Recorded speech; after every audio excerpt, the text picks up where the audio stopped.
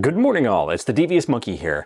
It is Tuesday morning, about 9.45, and I have been doing stuff around here, prolonging the inevitable, going out and getting some food. I'm gonna go get breakfast, just because we don't have anything, and I don't wanna wait until I go out to 15 different grocery stores and all that shit. Uh, not to mention, I didn't really eat dinner last night. I had that filling redone the dentist was like, uh, we had to, to take out a little bit more than anticipated. So yeah, you're going to be really sensitive to cooler things and your jaw's going to hurt for a few days. My old boss texted me last night when I was in the dentist chair and said that he's in town with my replacement, who I think is from Virginia Beach. Go figure he wanted to know if I wanted to go to dinner. And I was like, dude, I literally just got out of the dentist chair. I can't feel half my head. So he said, all right, dude, I'll call you tomorrow. So I don't know what's going on with that. Maybe I might meet up with them for dinner or maybe they'll be oot and a boot and I'll catch up with them. We shall see. But until then, I'll just be sitting here doing work. I hear the garbage truck coming, which means I'm going to be blocked in and I haven't done my morning routine in here yet. So let's make some light.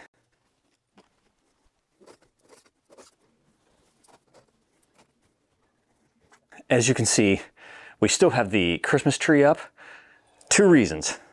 One, we totally like the Christmas tree. My wife never wants to take them down. But two, the cat has gotten to a point of making that one of his spots. Yeah, he's puked like four times on the, the little Christmas tree, whatever hell you call that thing.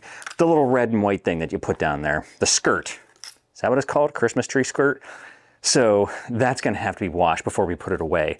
Okay, it sounds like the garbage men are done, so I'm gonna get my shoes on and get the hell out of here because I'm really hungry. Let's do it. Yummy. Although they forgot my salsa. Eh. Okay, now the big exciting news. It's Tuesday morning.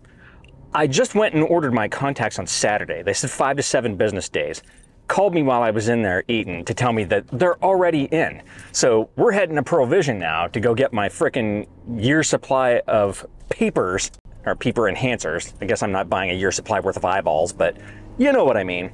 Contacts gotten. Still can't believe they came in. I, I mean, even she was shocked. I'll take it. Now I can see. For a year. Rock on. Let's go home and do work. Okay, kids. what a day. After I had dinner with my former boss last night and the guy that's replacing me, came home, hung out, we had tea and cookies, everything was peachy, went to bed. About midnight, I jerked awake. And you know what I mean when I say I woke up, like, because I knew what was coming. I tried to convince myself that it wasn't coming, but it came, and I sprinted into the bathroom, and then I spent the next hour either having my issue or laying on the floor and moaning. So it was a shitty night. No pun intended. I realized how disgusting the bathroom floor was though. So today I washed everything in there, all the all the little rugs and all that shit and and cleaned the floor thoroughly. Because the, there's nothing like laying on the bathroom floor moaning to make you realize that you need to clean your bathroom. Anyways, so that was last night. I got up today and I've been doing day job stuff all day. I haven't left this place. I'm just about to now so that I can say I left the place today. Whilst I was doing all this, I decided that I was going to pay all my bills for a change. So I started doing that. I paid all my bills and then I thought, you know what? Let me go take a look at the Amex card, which is my company card. And I almost shit myself. Ooh, too soon. Anyways, I looked at it and I was like, holy crap, why the hell is it so much?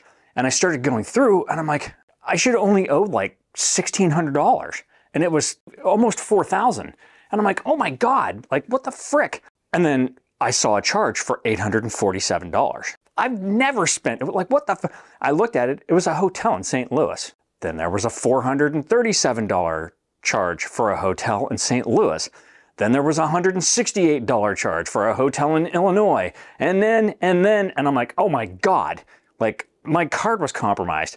I can't pay that, you know, because eh, even though it's a company card, it's on us. Like it, it ruins my credit if it doesn't get paid. So I'm freaking out. And I call my boss. I was like, dude, I have a huge fucking problem. And he's like, you know, what's up? And I said, I've got like thousands of dollars worth of worth of fraudulent charges on my credit card. I can't pay that. And he's like, oh, dude, no big deal. Like, oh, oh yeah, okay. I'll just shit that out. Got to get off the shit, huh? Anyways, uh, so long story short, I ended up going to the Amex site and using their stuff to uh, claim fraudulent charges. And then he told me, you know, like he basically told me what to do. So I went through and I did as many as I could find. The Amex site was sucking hard today. And I would click on a transaction and it would just spin. It would take forever and sometimes it wouldn't even come up. So I think I got them all and I looked at the last one because there were a couple of times where I was like, that seems kind of high, but I wasn't paying attention. And I just paid the bill and whatever. So shame on me. Now I'm going to be looking every month. But anyway, so I put in the fraudulent charges and then I called the number and got to the fraud department and said, yeah, I had a number of fraudulent charges. I've already disputed them and I need to cancel the card and I need to get a new card ASAP. And they were like, "Yep, no problem. We'll make sure that gets taken off your account. Already put in for a new card. You'll have it by the end of next week. I'm like, oh, okay, great. I mean, that's simple. So that was good, but it's also bad because I'm not traveling on my own dime and my boss wouldn't expect me to. So that means now I'm not going out next week either. So that changes the flow of how I was doing things. And now I have to do other shit before I do the shit that I would have done to get ready to go out again next week. so I've got a lot to do and it's kind of overwhelming again. So uh, despite the fact that I'm trying to catch up and get shit done, I keep having weird shit happen and I have to compensate for that. So what am I doing? I'm leaving because I've had enough. I need to take a break today because that's important too. So we're going to go to UPS and um, see if there's any packages. There shouldn't be. It's been shit out yesterday, rainy, dark and dreary this morning, and all of a sudden the sun came out. And now we got that. And see, the tree still lit up. And I also washed the Pukey Christmas tree skirt because Pukey Cat puked all over it, but he loves being under there. So I actually washed it along with all the stuff in the bathroom. And uh, I set it out here and then I opened the door for him so he could get a sunspot. And boom, he was right down there. Totally just enjoying the sun, as I am too. So, all right, I'm gonna get dressed. We're gonna go to UPS and then come back and do a shit ton of day job stuff. Let's do it. It's 324 on Thursday afternoon. Is it Thursday? Yeah, okay, let's just say it's Thursday. It, it is uh, not nice out. it, it's not raining at the moment, although that's been off and on. It's only 40 degrees. It's overcast and dreary. So yeah, it's sucked because I could tell last night when I went to bed that, you know, the heat just kept coming on and kept coming on and it got pretty chilly. It's going to be worse tomorrow and then even worse on Saturday. Although Saturday's supposed to be sunny, uh, you know, we'll know when we get there. The bottom line is, is that we're hitting our cold period now. So it's going to be uh, in the teens tomorrow night, I think. Tonight or tomorrow night, whatever. It's to suck. So yeah, not to be doing an awful lot outside, although I have a ton of shit to do. Right now, I'm on my way to another one of my appointments. And I thought to myself, oh, I'm leaving too early and I was to go to Walmart and buy socks before I went. And then I'm like, holy shit, actually, you know, there's a lot of traffic out here right now. I should probably go now. So I'm to get there with a reasonable amount of time to park and, and go in and do what I got to do. So yeah, I got that. And then on the way home, I'll probably stop at Walmart and buy socks. I'm gonna listen to my audiobook and go to this appointment. So, okay, that appointment is done. And now I scheduled phase two for next month. I should be good for any kind of medical bullshit for a while. I'm literally right down the street from Black Rifle Coffee, too. It kind of makes me want to go there and get something, but I guess I just won't. All right, kids. It's Friday morning. No, wait a minute. Yep, it's still Friday morning. It's only 10 to noon, and I don't particularly want to go outside. It's not nice out. So, at least as far as temperature goes, wah. I have volunteered to transport a kitty cat to its vet appointment. Uh, well, I don't know if they expect me to have a carrier or not, so I don't want to show up without one. And uh, now I just have to remember where the hell I put it. Found it buried underneath a bunch of other shit, but at least I found it.